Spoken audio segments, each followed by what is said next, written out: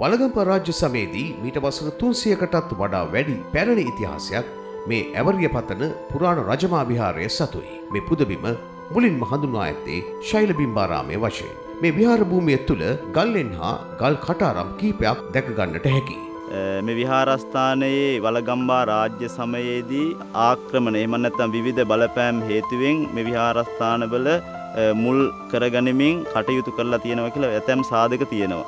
එදා මේ විහාරස්ථානයේ රාතුන් වහන්සේලා වැඩ සිටි අතර උන්වහන්සේලා මෙහි ගල්ලෙන් තුළ බවුන් වැඩූ බවට සාක්ෂී තිබෙනවා. මේ ගල් පර්වතයේ මුදුනේ විශාල පොකුණක් ඇති අතර ඒ පොකුණ රාතුන් වහන්සේලා ස්ථානය කළ පොකුණ වශයෙන්ුයි සැලකෙන්නේ.